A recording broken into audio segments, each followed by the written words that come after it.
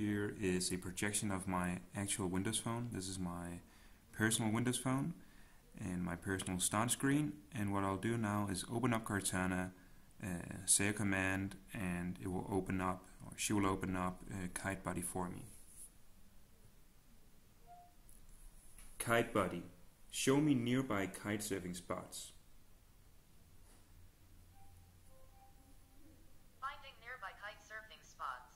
And as you can see, she identified that what I wanted to do was to interact with Kite Buddy, and it opened up uh, exactly what I wanted, a list of nearby kite surfing spots.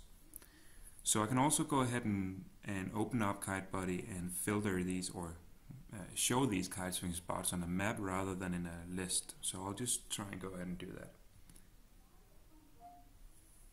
Kite Buddy, show me nearby kite surfing spots on a map. Mapping nearby kite surfing spots.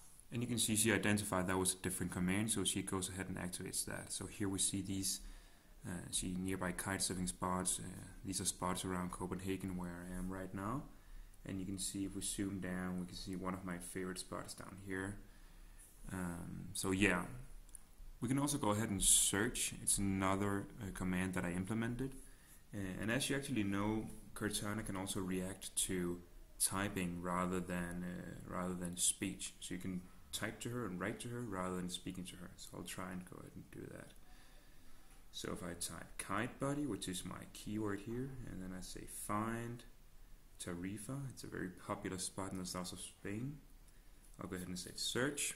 She identifies that I want to search for a kite spot and immediately opens up the search page of my app. So she already entered Tarifa into the search field there and, and executed the search. So I can see there's just one result and I can go ahead and click on that and open the details for that spot.